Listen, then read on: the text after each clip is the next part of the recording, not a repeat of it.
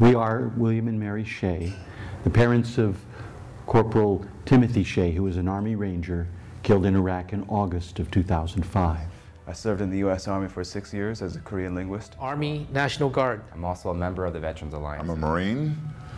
I, my father was a Marine, and I have two sons, San Franciscans, who were Marines. Served in the U.S. Navy from 1999 to 2003. I'm a veteran of the United States Army. I serve in the U.S. Army and U.S. Navy, and I'm proud of my service. I'm a United States Navy CB veteran. I was in the United States Army.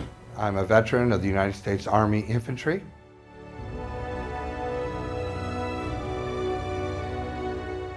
I think the attitude that uh, San Francisco is an unfriendly place to veterans is, is undeserved. This is my son Mike, and this memorial will mean a lot to me because of him serving in Iraq.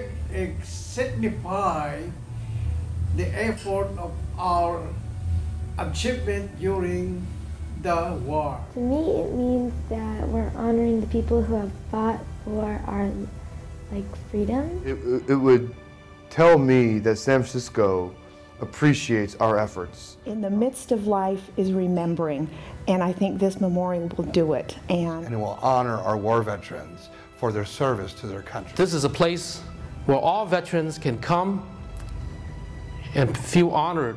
We are standing on the shoulders of giants. This is a part of us. This is a part of our country. This is a part of what we stand for.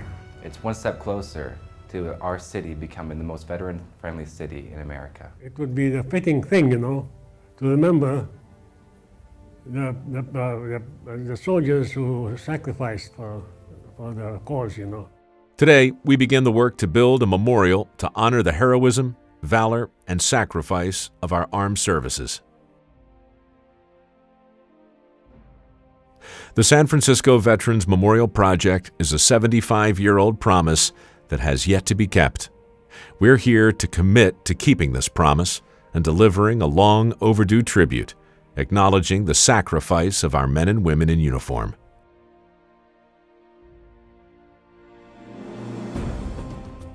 In 1920s San Francisco, a campaign for a Veterans Hall and War Memorial was being championed by the posts of the newly formed American Legion and Veterans of Foreign Wars.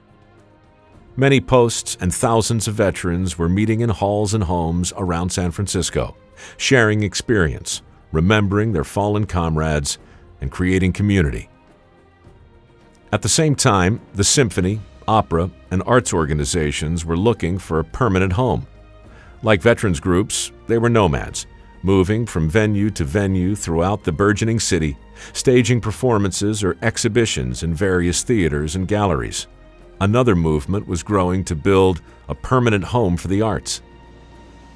The two movements found a common cause in a grand proposal build a complex where artists and veterans could gather, a permanent home for arts organizations to reflect on our nation's experience, and a permanent home for future generations to learn and remember what freedom and peace had cost.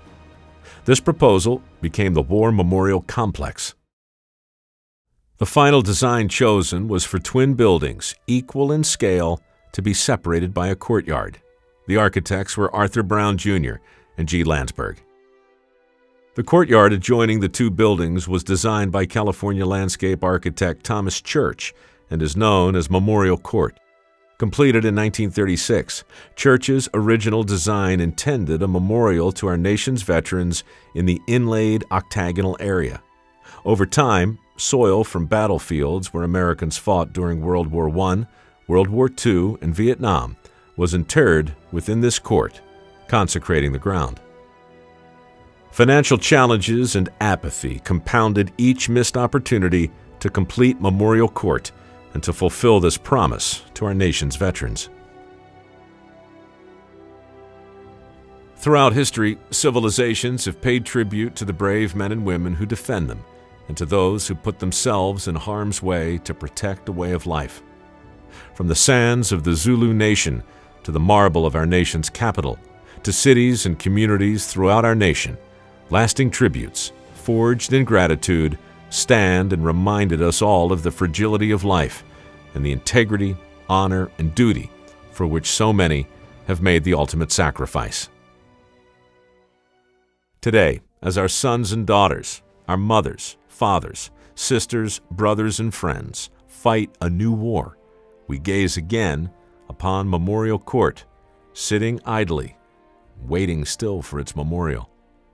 We look at ground consecrated with battlefield soils and remind ourselves of the sacrifices made in the past and the sacrifices being made today. The San Francisco Veterans Memorial Project proposes to fulfill the 75 year promise to our nation's military veterans by building a memorial equal to the sacrifice of service. A memorial to honor not just today's veterans, but the generations of veterans who served for us in the past and the generations who will stand up and serve our nation in the future.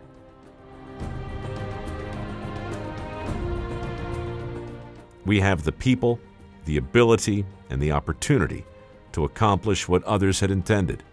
Together, we can keep San Francisco's promise.